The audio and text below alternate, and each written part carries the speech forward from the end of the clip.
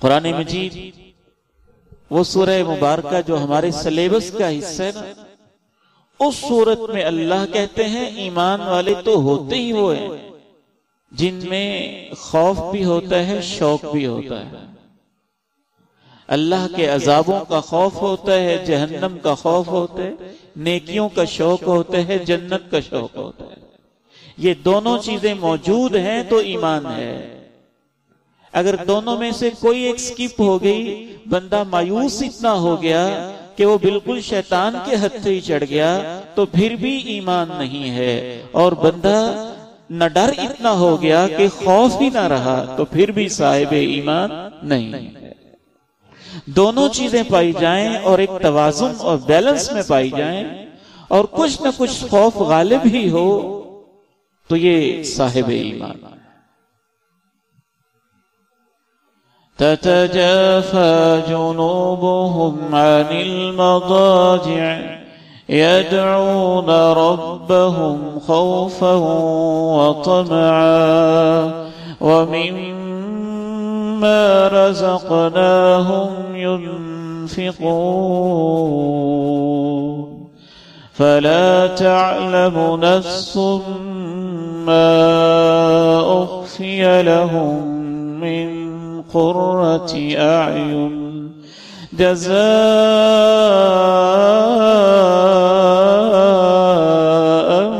بما كانوا يعملون. میرے ایمان والے بندے وہ ہیں، اس سے پہلے کلمہ حسر ہے۔ کلمہ حسر یہ ہوتا ہے، جب آپ یوں کہیں نتھنگ بٹ دس بس یہی ہے اس کے علاوہ اور کوئی بات نہیں۔ انما يؤمن بآياتنا الذين اذا ذكروا بها خروا سجدا وسبحوا بحمد ربهم وهم لا يستكبرون.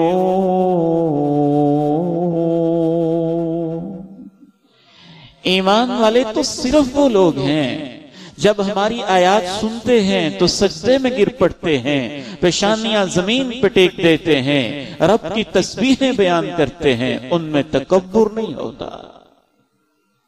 تتجافى جنوبهم عن المضاجع، يدعون ربهم خوفا وطمعا. وہ اپنے بستر پر لیٹے ہوتے ہیں، تو اپنے بستروں سے اچانک اٹھ کے علیحدہ ہو جاتے ہیں، بے چین و مسترب ہو جاتے ہیں، اور اپنے رب کو خوف کی وجہ سے اور جنت کی امیدیں لے کے اس سے دعائیں کرنے لگ جاتے ہیں۔ یہ میرے اہل ایمان بندے ہوتے ہیں۔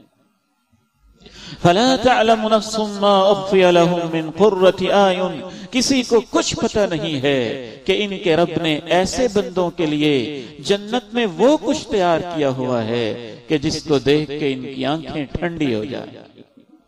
جزاء بما كانوا يعملون. یہ ان کے اعمال کا صلہ ہوگا۔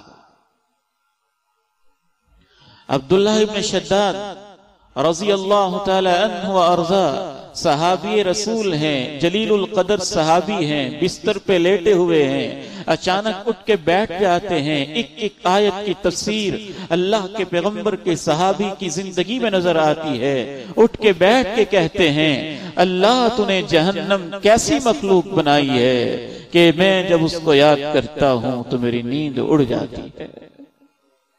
ساری رات بعض دفعہ یہ کہتے ہوئے گزار دیتے جناب ابو حریرہ رضی اللہ تعالی عنہ رب کریم سے باتیں کر رہے ہیں، روئے جا رہے ہیں، آنسو ہیں کہ قطرے بن کے موتیوں جیسے رخساروں پہ بہے جا رہے ہیں سسکیاں ہیں کہ رکنے کا نام نہیں لیتی پوچھنے والے کہتے ہیں، ابو حریرہ آپ اتنا کیوں روتے ہیں؟ آپ اتنا کیوں روتے ہیں؟ جناب ابو حریرہ رضی اللہ عنہ کہتے ہیں، واللہ ما ابکی علی دنیاکم حاضی اللہ کی قسم ہے، میرے دل میں تمہاری دنیا کا کوئی غم نہیں۔ مجھے یہ غم نہیں ہے کہ میری دنیا رہ گئی۔ مجھے یہ غم نہیں ہے میری اولاد کا کیا ہوگا۔ مجھے یہ غم نہیں ہے میں دنیا چھوڑ کے جا رہا ہوں۔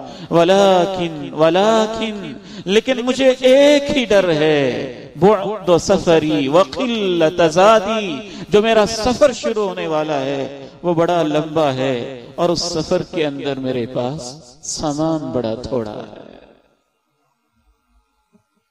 سفر لمبا ہے، سامان تھوڑا ہے۔ یہ وہ ابو حریرہ ہیں ہمارے حسن زن کے مطابق زندگی میں جنہوں نے کوئی کبیرہ گناہ نہیں کیا، مسجد نبی کے اندر ان کی صبحیں گزری مسجد میں ان کی شامیں گزری ریاض الجنہ میں انہوں نے رکوع کیے، سجود کیے، اللہ کے پیغمبر کی رفاقت میں زندگیاں گزاری، رات کے تین تین حصے کیے، ایک حصے کے اندر عبادت کرتے تھے، ایک حصے کے اندر پیغمبر کی حدیثوں کو یاد کرتے تھے، ایک حصے کے اندر آرام کرتے تھے۔ کمانے کی بھی فکر کچھ نہیں کی، تین تین دن بھوکے اور پیاسے نڈال ہو کے جب جسم ساتھ نہ دیتا، گرنے لگتے۔ تو اس دروازے پہ گرتے جہاں سے اللہ کے پیغمبر کا گزر ہوتا تھا۔